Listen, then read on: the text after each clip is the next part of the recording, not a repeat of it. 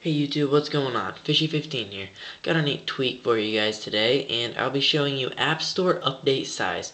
So this is a really neat tweak, and it's just way worth going over and reviewing to you guys. So what this App Store update size is, it is um, it allows you to actually see how big the the applications you are downloading or updating, I should say, from at the App Store. So as you can see, I have six updates. So we'll open the App Store and head over to the updates right here. And as you can see, I have a couple updates. I'll get these in later.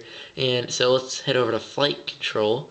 And um, just, I know if you scroll down, it just tells you about it. And right up there under the free, because it's a free update, it'll say 14.2 megabytes before you up, um, installed this App Store update size tweak available in Cydia, it didn't have that and you just had to guess if it was big enough, small enough, and how long it would take. So I know I use this a lot now because my internet's kind of really slow. I need to update that, but it's really slow, so I can't really download apps that are like hundreds of megabytes on my iPod because it just takes so long. Can't lock my device or any of that. So it's a really neat tweak. It just shows the megabytes or if it's bigger or smaller it'll just show it right there. So the size of the application you're updating.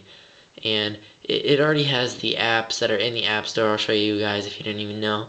You can just scroll down to the bottom and it'll say it right down there. It'll say size 19.8 megabytes so that's pretty cool too if you guys didn't know. So if you guys like this video please rate comment subscribe hit the thumbs up button down there. Make sure you subscribe subscribe up there and make sure you follow me on Twitter guys. I am most active there. I'll tweet with you guys I'll talk to you on there chat with you and just all that good stuff. So alright I'll catch you later. Peace